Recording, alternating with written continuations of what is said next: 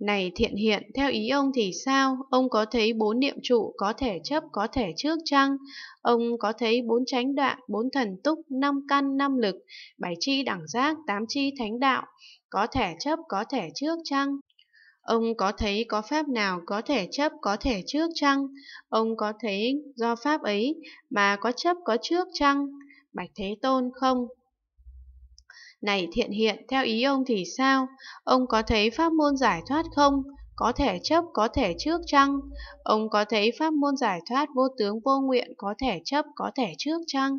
Ông có thấy có pháp nào có thể chấp, có thể trước chăng?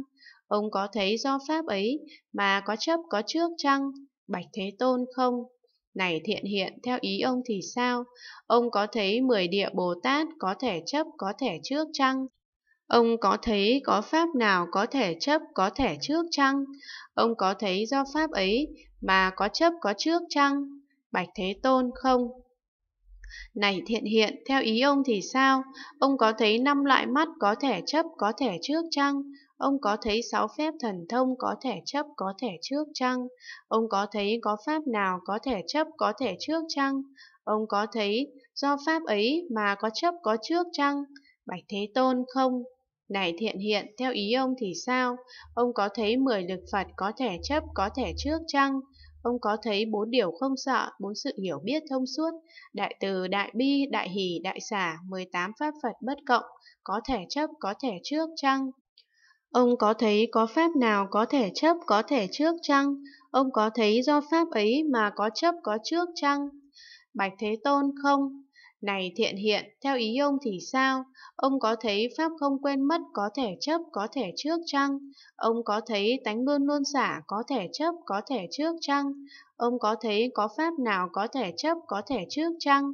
Ông có thấy do Pháp ấy mà có chấp, có trước chăng? Bạch Thế Tôn không? Này thiện hiện, theo ý ông thì sao? Ông có thấy trí nhất thiết có thể chấp, có thể trước chăng? Ông có thấy trí đạo tướng, trí nhất thiết tướng có thể chấp, có thể trước chăng? Ông có thấy có pháp nào có thể chấp, có thể trước chăng? Ông có thấy do pháp ấy mà có chấp, có trước chăng? Bạch Thế Tôn không? Này thiện hiện, theo ý ông thì sao? Ông có thấy tất cả pháp môn Đà La Ni có thể chấp, có thể trước chăng? Ông có thấy tất cả pháp môn tam ma địa có thể chấp có thể trước chăng? Ông có thấy có pháp nào có thể chấp có thể trước chăng? Ông có thấy do pháp ấy mà có chấp có trước chăng? Bạch Thế Tôn không? Này thiện hiện, theo ý ông thì sao? Ông có thấy quả dự lưu có thể chấp có thể trước chăng? Ông có thấy quả nhất lai bất hoàn A-la-hán có thể chấp có thể trước chăng? Ông có thấy có pháp nào có thể chấp có thể trước chăng? Ông có thấy do pháp ấy mà có chấp có trước chăng? Bạch Thế Tôn không? Này thiện hiện, theo ý ông thì sao? Ông có thấy quả vị độc giác có thể chấp có thể trước chăng? Ông có thấy có pháp nào có thể chấp có thể trước chăng?